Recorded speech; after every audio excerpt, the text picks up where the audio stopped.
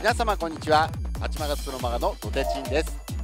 今回は三強の最新台 P フィーバーマクロスフロンティア4をご紹介いたします。マクロスフロンティアは2008年に放映されたアニメシリーズで今年2021年には劇場短編の新作や単独ライブが企画されておりアニメ終了から13年経過した今でも人気抜群の作品です。さらにこのマクロスシリーズは女性ファンが非常に多い点も大きな特徴と言えます。その要因とも言えるのがやはり魅力的な音楽ですよね。今作ももちろん人気楽曲がたくさん搭載されていますのでファンの方もコールで大いに盛り上がれると思います。そんな本気 P フィーバーマクロスフロンティア4の注目ポイントはシリーズ史上最高のギャラクシーライブです。高速爽快のギャラクシーライブは継続率約81%大当たりは全てフルラウンド。1500払い出し。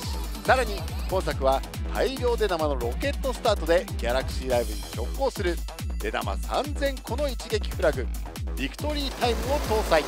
初当たりから3000個をゲットできる期待感を持って打てるのが大きな魅力となっていまして3000個スタート時の期待出玉はなんと8885個。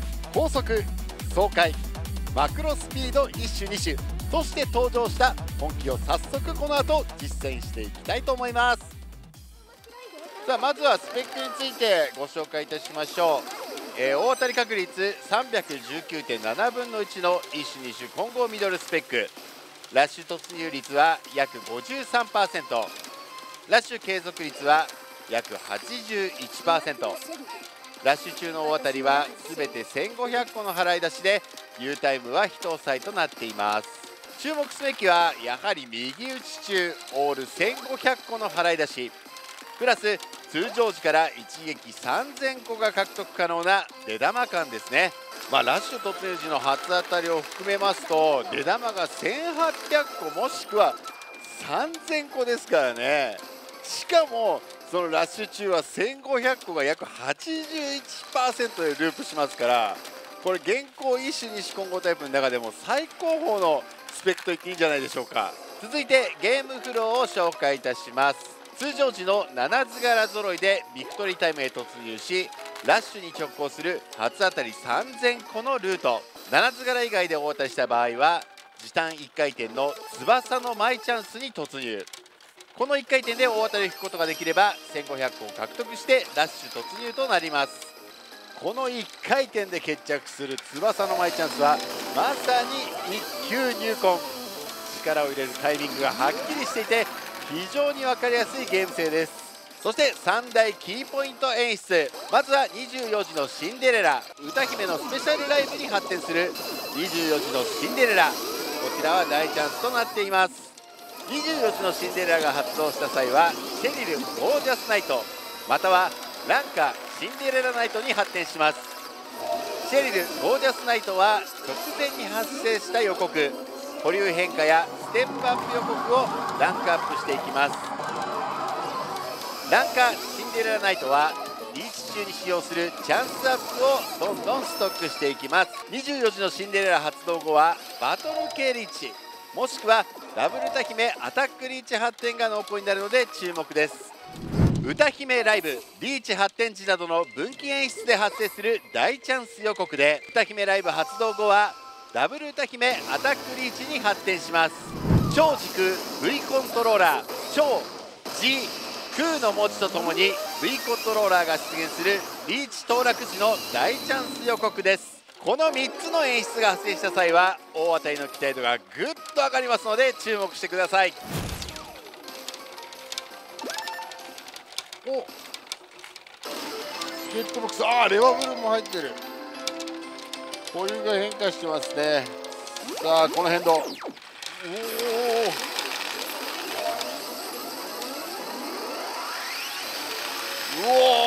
おすごい。そしてセンターのアイランドと連続演出入っています4のリーチでここは止まるかな。おおっと待って金のカットそして歌姫ドライブ。レッドレース2回目ですね。あーっとここでギミックが完成しましたがこれ24時のシンデレラ。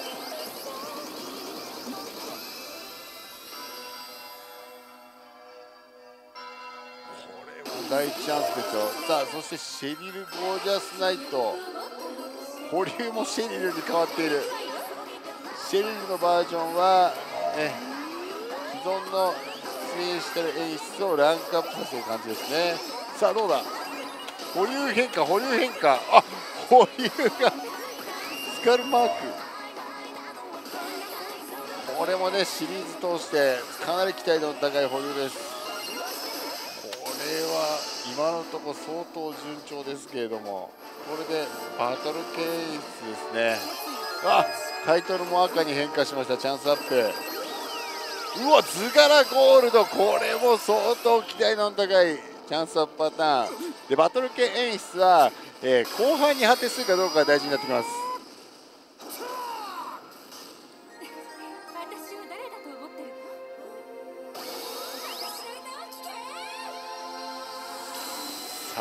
こから後半です、まあ、今のところもう予告はほぼ完璧に近いような状態。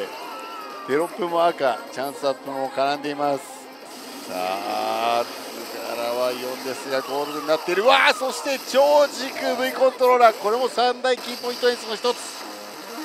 さあ どうだ？これは大丈夫だろう。わあデカルチャーがレインボーに。ギミックほど派手に大当たりを祝福してくれております。うわー5デカルチャー4図柄揃いで大当たり。さあということで大当たり消化となります。え7図柄以外の図柄揃いはですね2ラウンド300個の出玉をねえー、獲得してこの後ですね翼の舞チャンス。この演出で成功した際にギャラクシーライブ。なのでここ相当大事ですね。1級入魂。まさにもうその言葉通りですね。右打ちして1変動。ここで成功する確率は50%結構チャンスアップパターンも豊富です。セリフなんかもね赤の方がいいですしここの赤の文字なんかもチャンスアップになったりします。さあアイコンどうだ？おおこれで見事。ギャラクシーライブ突入です。ここをクリアするかどうかがね本気の肝と言えますからねさあ見事図柄が揃いましてギャラクシーライブ開演です、えー、ギャラクシーライブに突入した際は、まあ、最低でも、えー、初回の2ラウンドプラス10ラウンドで、えー、1800個の出玉をね獲得して、えー、ラッシュに突入すると。さあということで見事本気の肝となるギャラクシーライブに突入しました。チャンスは2回。ということでここまでの流れが、えー、本気の基本的な流れになりますけれどもその最上位パターンとなります。いきなりね3000個の払い出しを、えー、持ってギャラクシーライブに行くというパターンもありますのでこちらの方をご覧ください。さ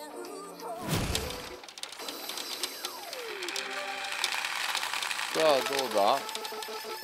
あ赤までいったぞ。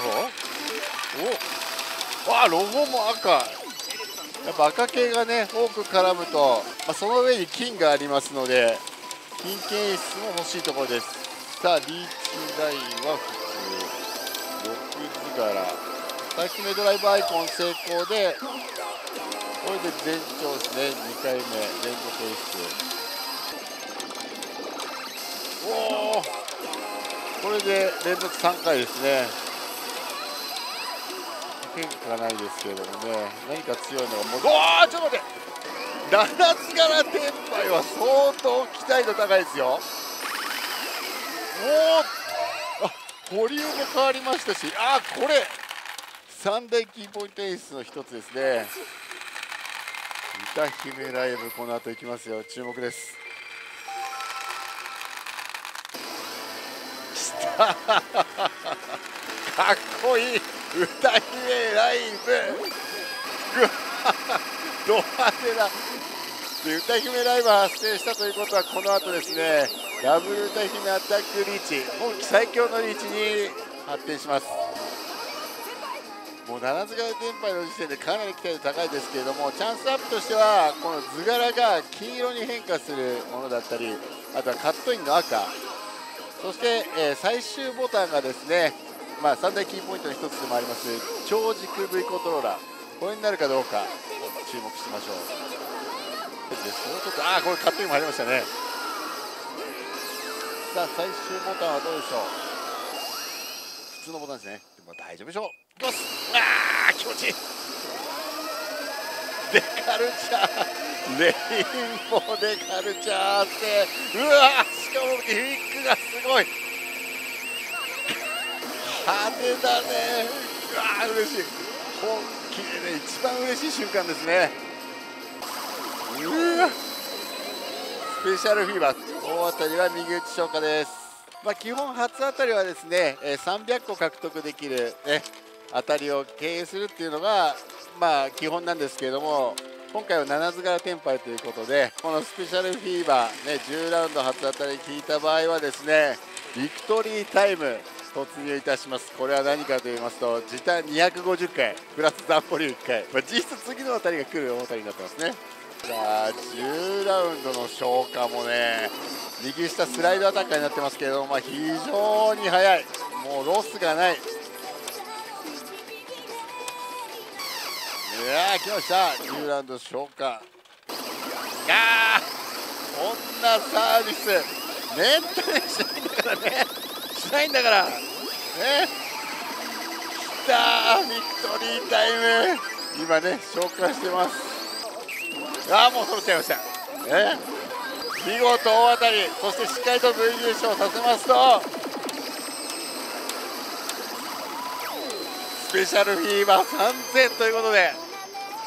えー、10ラウンド2回ですね。1500プラス1500で、えー、3000ということになりました。そしてここからギャラクシーライブね始まります。約80で1%継続。さあこれでギャラクシーライブ。はいということで見事3000発を経由いたしましてギャラクシーライブ、えー、この後入るわけなんですけれども、えー、このラッシュ中はですねファーストステージとセカンドステージの2部構成となっております。ファーストステージは一発告知や即当たりがメインのゲーム性となっておりまして期待度は時短1回で2分の1を引く。つまり、えー、確率50%となっておりますね。キャラクターのセリフや文字の色に注目してください。残念ながら1変動目で外れてしまった場合は保留を貯めてセカンドステージに進みます。セカンドステージは4つの演出パターンから選択が可能となっています。一発告知タイプのシェリルアタック一撃タイプのカウントダウンアタック成り上げタイプのトライアングルアタック連打タイプのパトランカアタックこの2ステージの短い変動中に熱いポイントを凝縮したシーズ史上最高のラッシュに仕上がっています。どちらのステージも多彩な法則そして違和感演出がありますので目が離せません。さあそれでは右打ち始めます。このタイミングで決まると言ってもいいですからね。行きましょう。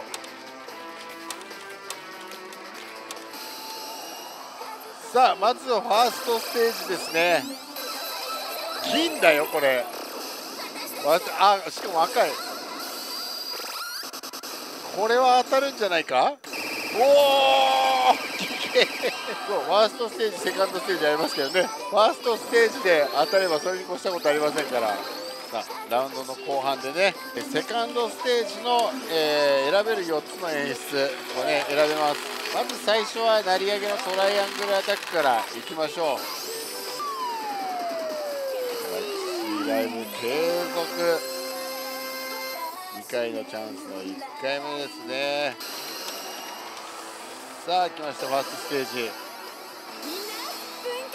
分化してる。すごい私の歌を弾けるかどうか。来い。あ878残念ながらファーストステージは失敗。ここからセカンドステージになります。トライアングルアタック。まずは図柄ですね。ユースよりキスの方がチャンス。あそしてボタンプッシュであっとロゴは白はそんなに強くない。白青緑赤。そしてレインボーの順で強くなってきますね。観客がね青になりました。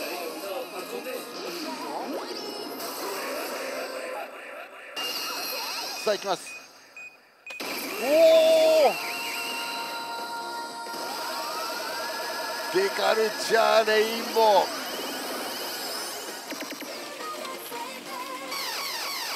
おおええー、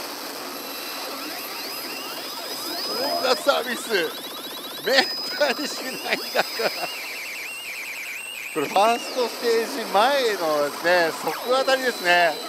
これは嬉しい。ギャラクシライブ継続。チャンスは2回。さあ打ち出しを開始して。いきますえいあっと。失敗。この後セカンドステージですね。カウントダウンアタック。まあそんなの通り。数字がカウントダウンしていきます。最後ゼロになれば大当たり。さあいきますよ。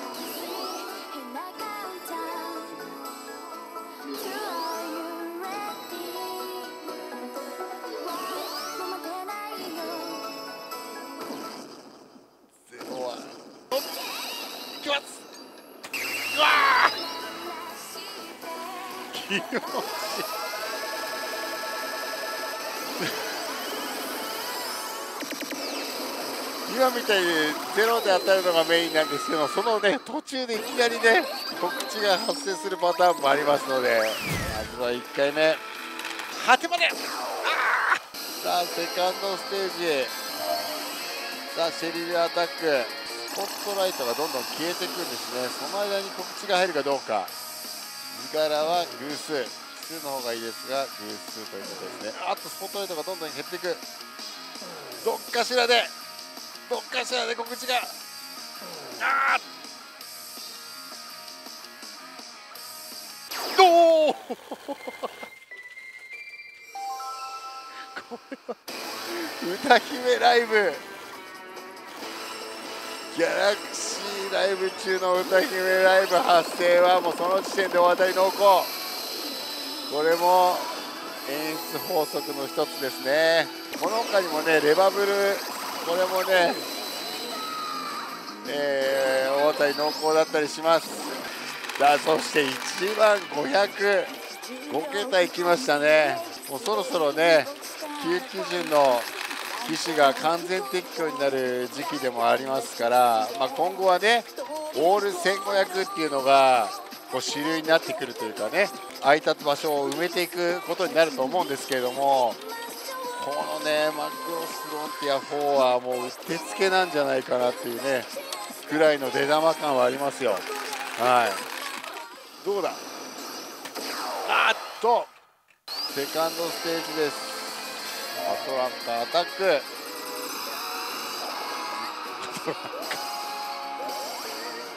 木柄天敗です。